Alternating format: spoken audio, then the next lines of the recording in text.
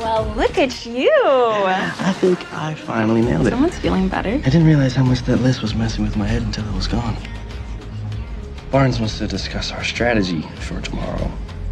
Hmm. That's all my dad is to him strategy. But I guess that's just Barnes' way. Well, what about your way? How do you feel? What do you want? I want to talk to my dad. You know, ask him what I should do. But I can't.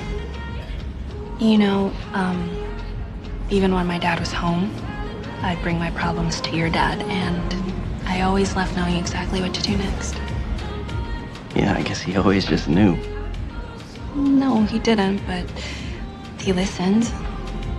And he believed that we knew what was right until we believed it too. You just gotta listen, Jordan. Believe that you know what's right for you, and when you find it, do it. Your way. Jordan Baker way. That's the legacy. Okay. What? What if my way conflicts with a prior engagement? You're ridiculous. Go. I love you.